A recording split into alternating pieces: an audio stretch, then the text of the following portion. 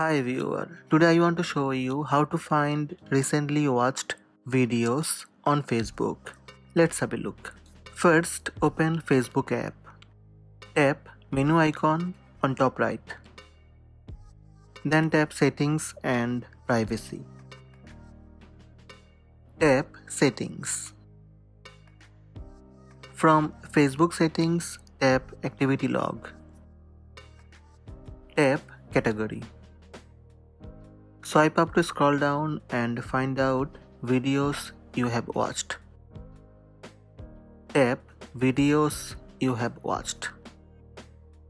Here you will see all videos you have watched. Another easy way you can see recently watched videos on Facebook. From Facebook homepage, tap menu icon on top right. Tap your profile name. Then tap three dots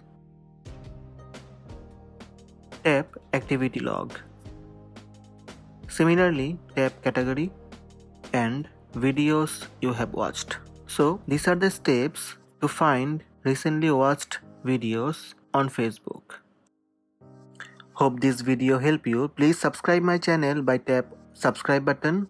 Also tap the bell icon to receive notifications about all new videos.